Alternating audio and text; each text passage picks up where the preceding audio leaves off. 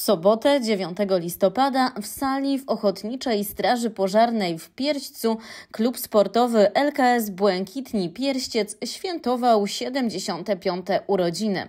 Podczas gali nie zabrakło życzeń urodzinowego tortu, podziękowań oraz podsumowań. Wręczone zostały również odznaki Śląskiego Związku Piłki Nożnej działaczom za wieloletni wkład w rozwój i funkcjonowanie klubu.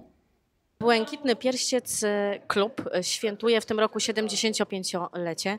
Jak na przestrzeni tych 75 lat zmienił się klub?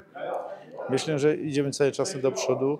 Chcemy, żeby rozwijać e, te młode talenty. Najważniejsze te dzieci, żeby miały zajęcie, żeby nie byli przy tych komórkach.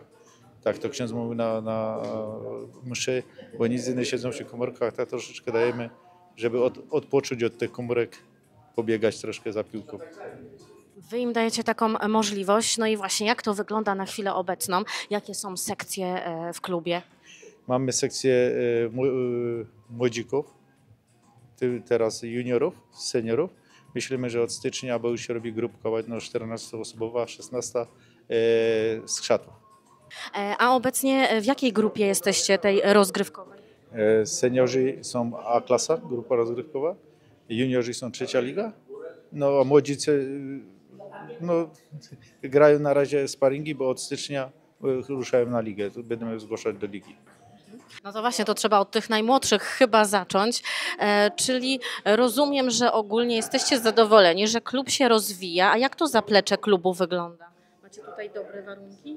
No mamy warunki dobrze, y, szatnie, Y, mamy podpisaną umowę z, ze strażą, że tam były y, piwnice i myśmy to wyremontowali i mamy szatnie, godne warunki do, do przebierania się do kompania i no, zawodnicy są zadowoleni.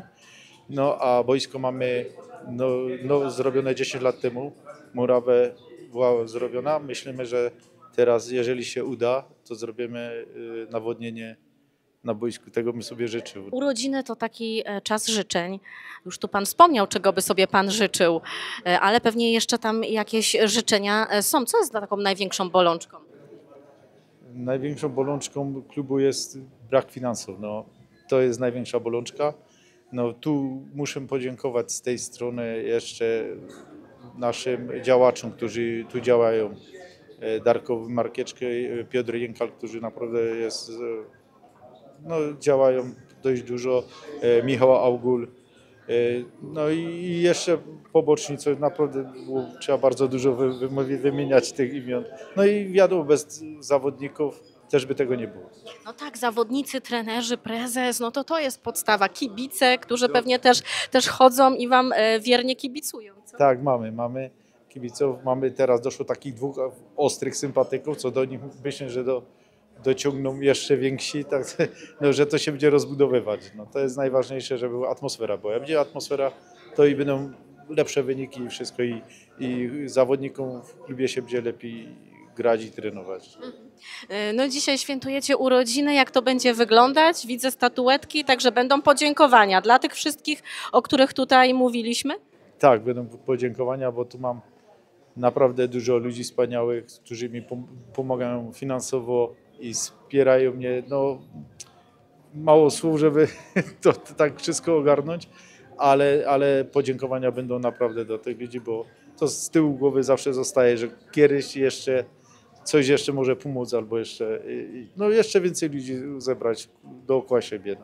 Mam ich wspania- wspaniałych ludzi bardzo dużo. Mam, ja, żeby taką imprezę zrobić, to by brakło nawet sali w Chybiu, ale no, na, na wszystkich nie ma rady, no, naprawdę. Dla portalu Śląska Cieszyńskiego XPL Marta Szymik.